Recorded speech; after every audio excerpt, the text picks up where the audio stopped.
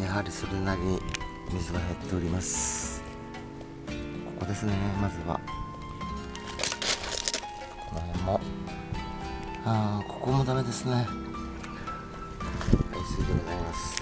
ここが新たに割れてしまった模様です。再度修理。ここがダメですね。ここからですね。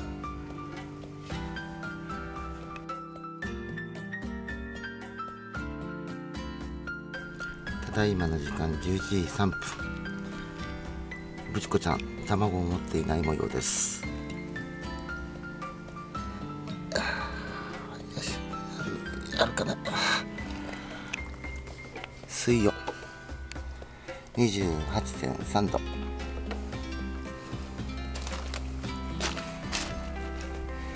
黒い水槽。27.6度。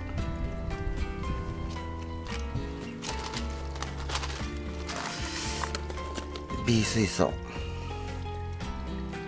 23.2度。A 水槽23.0こちらは。24.3度。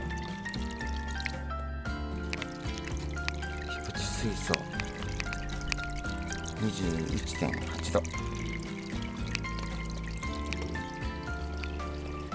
ちら日陰とん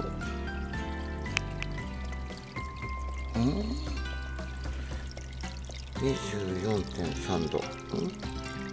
さっき何度だったかな？違ったような気がする。本日息子が水道水とメダカの産卵床買ってきてくれました。いい息子です。まずはブチコの卵から確認したいと思います、えー息子のくれた水道水をこちらに移します。いくつあるかな。よしここに1個は確認。うーん見つけるぞ。本日は13個でありました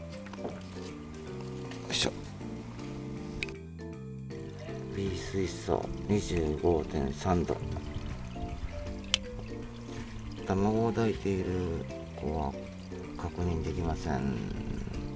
それでは卵を取りましょう。産卵床は一つも確認できませんでした。次はこちら。ああります。お米。あ3つ目次ホテイソウです。たくさん期待してますただいま12時です。なぜか1個も確認できません。なぜなんですかね。なぜなんですかね。なぜだ。なぜだ。なぜだ。これ持ってるかなお腹に。誰か卵抱いてる子いますか。さあ返事してくださいよ。誰か卵持ってる子いいますか？いませんね。なんかなぜ？終了。次はこれ。1個は確認できた。2個3個。たくさん産むな。10個目でございます。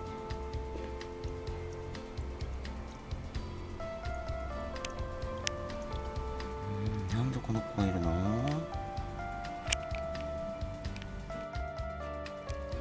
えー、水槽25.3度。さっさとちっちゃい産卵とこ。を1個発見しましたね。こちらは4個でございました。大きい方いきます。大きい方いきます。大きい方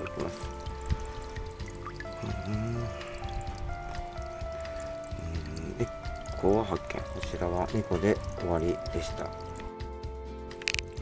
い次はホテイソウいきます。うんすぐわからないけどいくつあるでしょう。8 9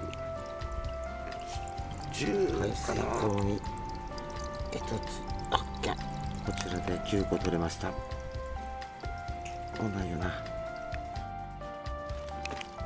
いい水槽こちらを確認するといくつもついております。さあいくつあるか。7個目でございます。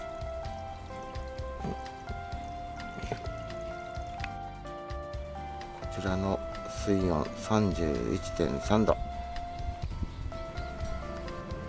11個発見。こちらは3個取れました。次はこちら、えーこちらには12345個確認できます。ここから。11個確認できました。よし。OK 昨日の子を水道水に移したいと思います、えー昨日の卵28個でした。